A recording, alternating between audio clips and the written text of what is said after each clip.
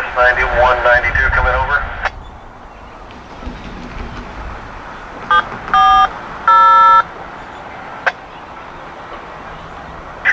Able to recover over.